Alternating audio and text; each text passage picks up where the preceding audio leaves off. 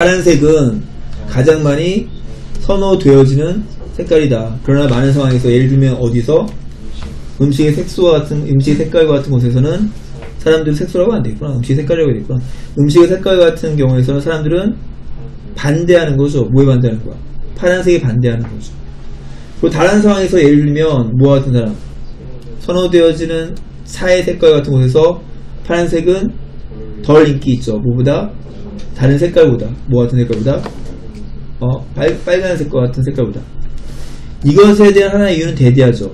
뭐냐면 색깔이 의미를 갖는 거죠. 이게 주제문이네. 근데 어떤 의미야? 그것이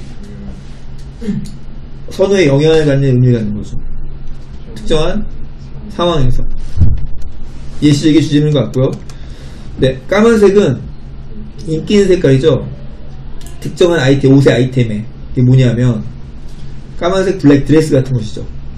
그러나 블랙 셔츠는 아마도 받아들일 수 없는 정치적인 함축된 의미를 갖는 거죠. 사람들에게 누구의 사람들에게 특정한 나이의 사람들에게 아마 사람들은 갖는데 정치적인 이미지를 갖는 거야 이상적인 색깔에 뭐에 대해서 다른 종류의 음식에 대해서 그리고 광고업자는 뭐 할 수 있어? 어, 이런 이미지를 이용할 수 있죠. 뭐함으로써 배열함으로써 뭘 배열함으로써? 조명을 배열함으로써. 어디에? 색깔에 있는 사진과 컬러 사진과 슈퍼마켓의 진열에 뭐하기 위해 어, 향상시키기 위해 뭘 향상시키기 위해 매력 제품의 어떤 원하시는 거 매력도 이게 매력도 너무 욕인데. 아무튼 매력도를 향상시키기 위해서죠.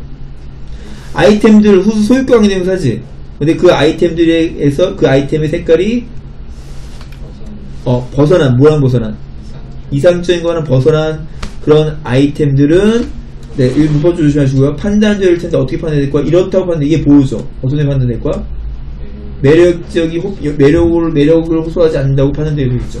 뭐일지라도 같은 색깔이 좋아짐을 받을지라도 그래서 좋아짐을 받는다. 네.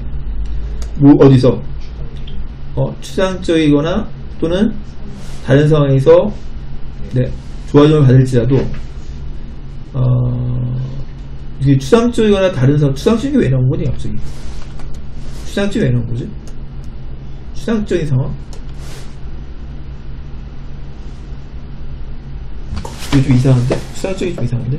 일반적이라고 일반적으로 앱스트랙트가 일반적으로요? 인도 인도 앱스트랙트가? 오 하나 배웠네 네 다시 인도 앱스트랙트가 뭐라고요? 일반적 일반적으로? 와 이런 뜻이 있었어? 네. 그러면, 이해가 되네. 네 이것도 단어 문제 주시면 되겠네